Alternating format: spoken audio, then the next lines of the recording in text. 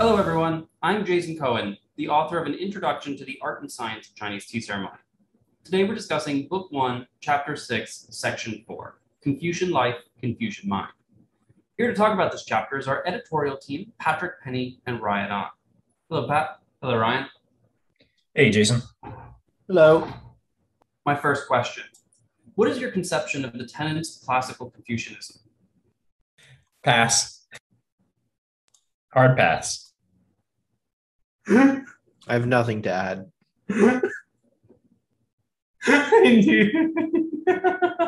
What do you make of the Buddhist Eightfold Path and how has it affected your life? I figured that we weren't really going to have much of a conversation about that one. Did you actually write that down? just, just to see what would happen. Live, live your life well. Respect your elders. Do unto others as they has been done unto you. Uh, Respect the hierarchy. The clergy is corrupt. You can have a personal relationship with God. That's Martin Luther. Okay. Why did the Keju, the imperial examination, have such a profound impact on the shared experiences of the scholar officials? So the uh, Keju was a you know institutionalized test, uh, and Confucianism holds that civil institutions right are an important part of a functioning society. Uh, the well-being of a society is dictated by these institutions, uh, and so these uh, scholars, officials, right, to be uh, government appointees.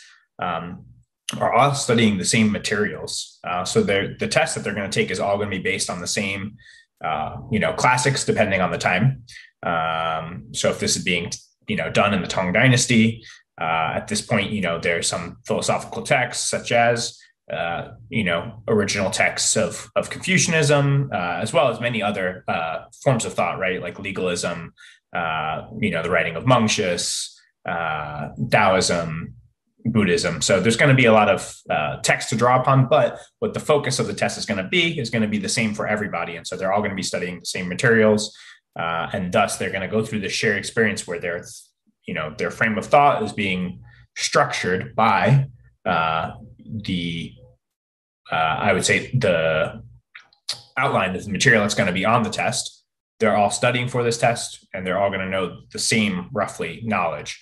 Uh, so through taking that test and shaping their knowledge in the same way uh, they're going to have the shared experience not so unsimilar to what we had uh, going through the Tea Institute at Penn State together, where we were studying for, you know, all an exam, uh, all kind of studying the same base knowledge, getting ready for the same test, uh, which, you know, really led to being a formative experience where a lot of us formed a lot of bonds and it really shaped the framework for how we'd approach our praxis going forward.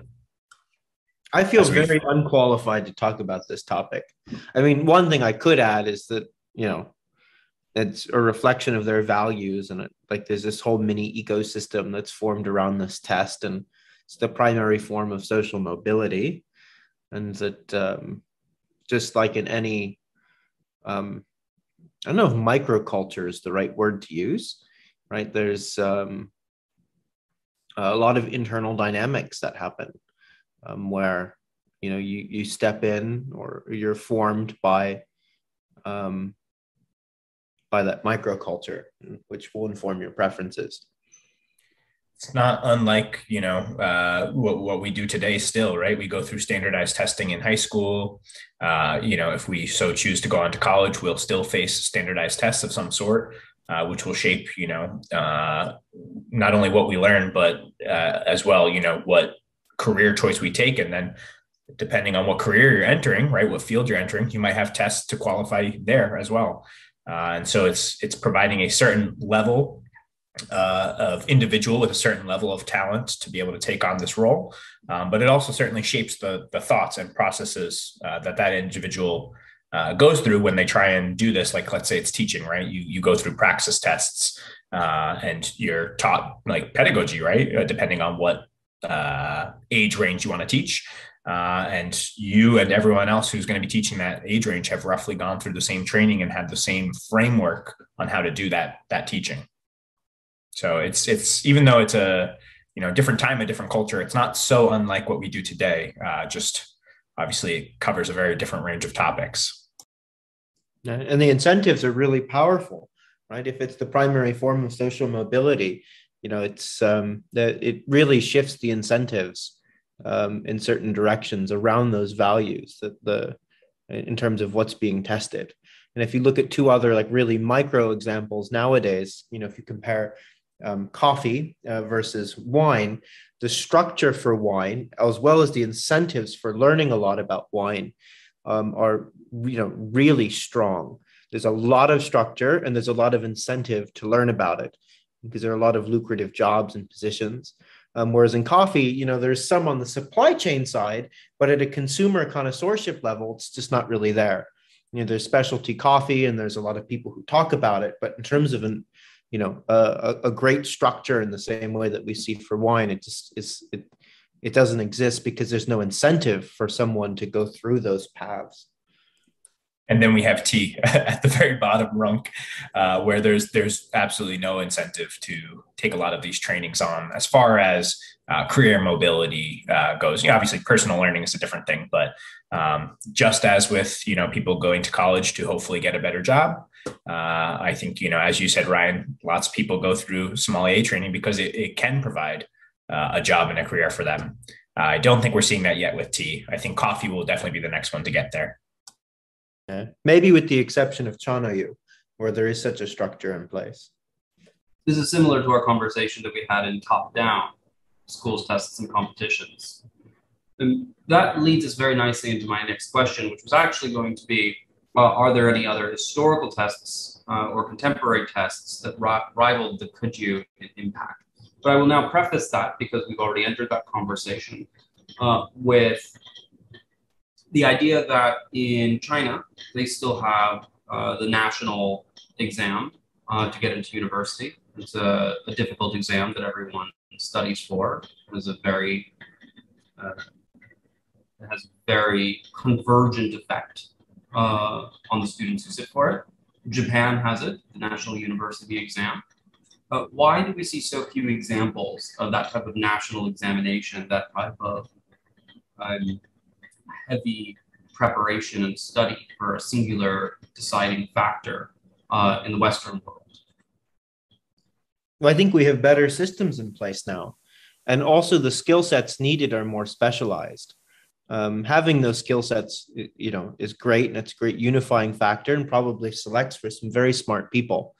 Um, but nowadays, you have very diverse professions that require very different sets of knowledge and experience and ways of thinking uh, and different forms of creativity. Um, so, you know, while a unifying standard like that is is great, and we still have them, SAT, ACT, we even have more specialized ones, like if you want to study law or medicine, um, where these there, there are these institutionalized exams, um, which act as a, a fairly good filter.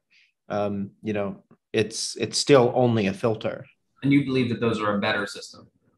I think we're moving away from them in general. I so um, I, I, think some level of filter is necessary. You don't want your surgeon um, to to not you know know you know so chemistry and mathematics, um, but um, um, but as you know professions get more diverse and creativity becomes more important in work and knowledge work especially um, those tests as gatekeepers um, become, I think, the utility of them becomes less and less effective. And yet, the United States education system is now making SATs optional and ACTs optional. They're reducing our dependency on standardized tests. So, are they useful? And is this a cultural difference between the Western world and the Eastern world?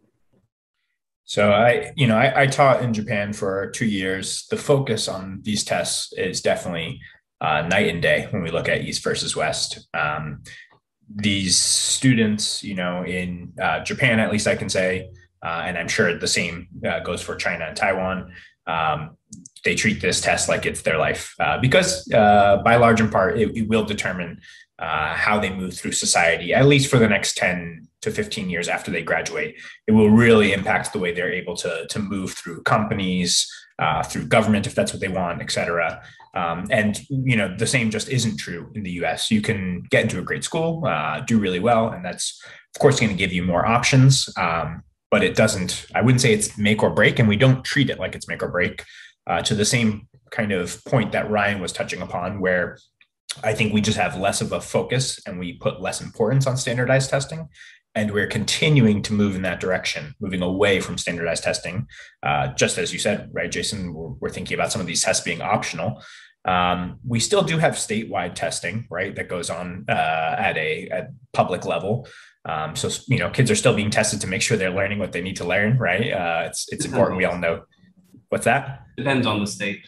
Depends on the state, uh, you know. But uh, I think Ryan and I, right, Ryan, I think you were in public school, so we we both took uh, Pennsylvania State, uh, you know, exams, the PSATs, um, and you know, it just it's to make sure we're we're learning uh, what what kids should know at that age. But um, I, I would say in general, um, testing of that sort really only shows that you are very good at rote memorization. Uh, you're good at studying for an exam. It shows that you have the skills to memorize things and have the input, remember and have the output. Uh, but it doesn't necessarily speak to your aptitude in you know all facets of life or in uh, your ability to perform in a career. Uh, and I think you know research is starting to show that without having uh, any to cite right now. Uh, but uh, you know, this this is a different time. Certainly, we're living in than the Tang Dynasty, uh, the Song or the Ming, and you know, this this type of examination, I think, has had its usefulness in shaping culture and society. And incubating the kind of culture that has led to our uh, praxis, right? Um, but might not necessarily be what is necessary moving forward uh, if we want to think about how do we shape our praxis going forward. an exam like the Keju might not be it how has testing in other practices around food and beverage, particularly something like the Court of Master Sommelier exam, where individuals gather in groups and study together, how has that created a shared sense of culture or a microculture or an idioculture that allows individuals to uh, enter a group, gain knowledge, gain uh, the, the types of formative experiences that are necessary that could not be gained without them? Um, why is it that it exists in wine and it does not exist in tea? I think it's it's an all has to do with incentives. So there's a whole institution based around a shared set of incentives where you ascend the ladder and we, we something. Talked, we talked about uh, incentives and schools testing competitions, but this question is actually a little bit different. This goes back to the question about culture, right? We just said that the Asian world is more interested in uh, this type of standardized testing. The Keju has been a historical part of China um, for hundreds of years. And yet, when we look for a test uh, related food and beverage, related to tasting ability, related to uh, a praxis, actually the one that we find that is most established is wine, which comes out of the Western world. Um, why is that? where does this cultural discrepancy come from? it, it is interesting uh, because you know we're looking at tea and tea ceremony, right? This is something that comes from uh, China, right? So a practice that was incubated in the same culture uh, where the keju was taking place, and yet for tea, at least uh, outside of China, right, there is no uh, national testing uh, to achieve a, a, job outside of maybe what Ryan was talking about, right? China has a structure, um, but for Gongfu Cha, right, there's there's no structure uh, that is agreed upon. Uh, you know that has formed where where we're seeing the same thing that happens in uh, the wine world. Um, there there is a testing structure within China, right, to be a you know tea specialist, and that is a government certified job. Um, but outside within the world of tea ceremony, we don't have it, and so I think that's an interesting to think about because um, this Western culture that incubated uh, wine uh, and interest in wine, and eventually led to us having some kind of infrastructure for, uh, you know, testing within it, um, is coming from the West. Is coming from a culture that's less obsessed with uh, testing or standardization.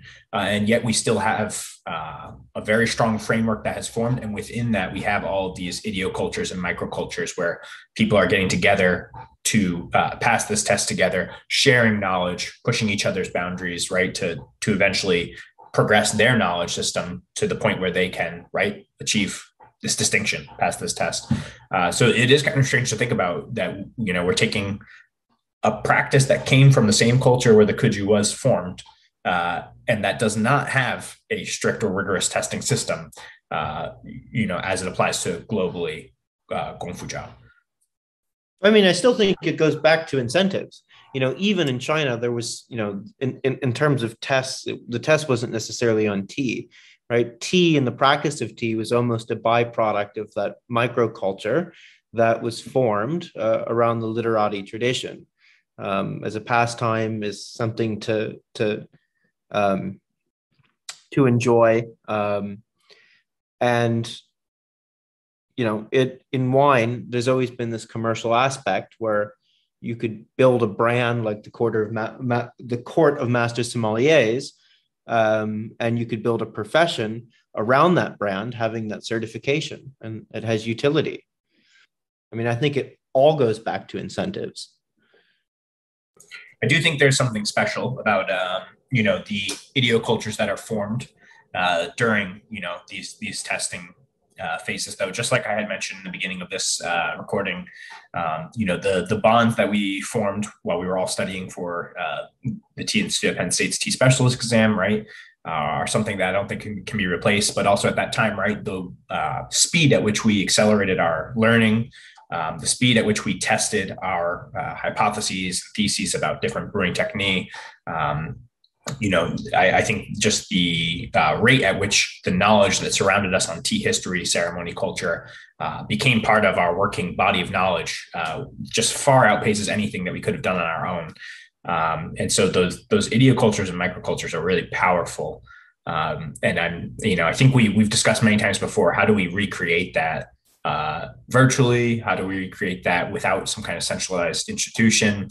Uh, and it's tough, but I, I, think that's really where a lot of you know the highest level of learning happens when you have these practitioners coming together to discuss, you know, taste together, uh, talk theory. I mean, it just you can't speed it up any faster than what you're learning when you're with you know other high level practitioners. I note in this chapter that the proportion of scholar officials from elite families remained stable even as more individuals took the imperial examination. Those scholar officials were appointed from their individual scores. And so I propose a thought exercise. Were they the same sons that would have been appointed without the imperial examination?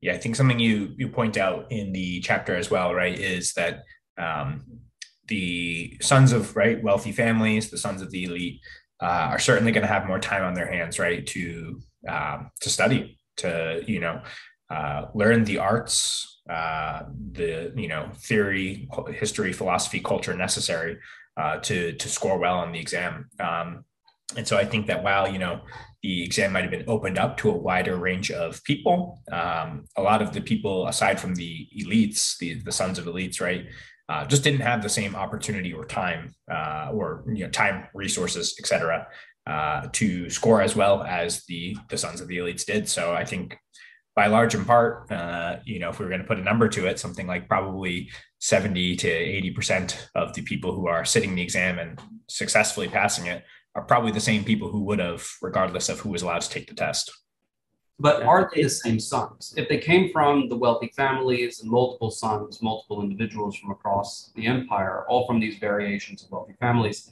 were able to have the time to study, the pass rate was still only varied between two and five percent. So my question is, are they the same sons uh, who pass the test and are appointed than it would be without the test? My, my contention is that it is probably not.